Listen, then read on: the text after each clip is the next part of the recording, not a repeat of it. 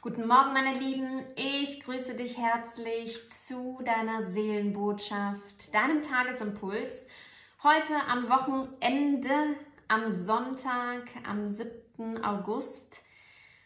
Ja, so schnell ging die Woche wieder um, oder? Wie kommt es dir vor? Also manchmal fliegen die Wochen einfach nur so dahin.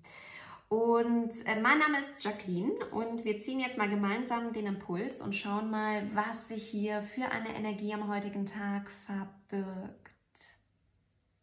Die? Ja, die ist es. Yes, Opening to Discovery. Wow, das ist schön. Also heute geht es weiter. Gestern, ja, Erkenntnis, etwas aus dem Unterbewusstsein, heute direkt den Schlüssel.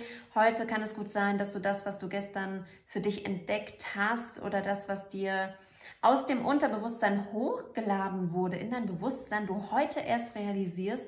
Und hier haben wir nochmal den Schlüssel, etwas könnte sich heute lösen oder eine Lösung für ein Thema, eine Lösung für ein Problem, eine Lösung für ein Treffen oder mit einem Treffen erhältst du eine Lösung. Das ist das, was ich gerade so bekomme.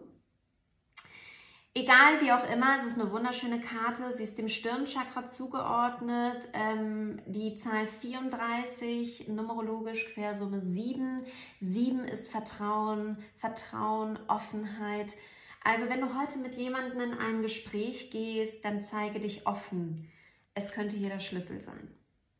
Wow, und mit diesen mit diesem poetischen Impuls, ja, schicke ich dich in den Sonntag, genieße ihn, hab ein wunderschönes Wochenende und ich freue mich natürlich, wenn du das nächste Mal wieder mit dabei bist. Vielleicht macht es auch Sinn, die Wochenbotschaften einfach oder auch die Wochen, ähm, die Tagesbotschaften und die Wochenbotschaft einfach nochmal ähm, sich anzuschauen, um zu reflektieren, okay, das hat jetzt, das bedeutet bei mir persönlich, du musst es natürlich immer für dich umlegen, aber ähm, ja, ich wünsche dir einen wunder, wunderschönen Tag und freue mich, dich das nächste Mal wieder hier begrüßen zu dürfen. Mach's gut.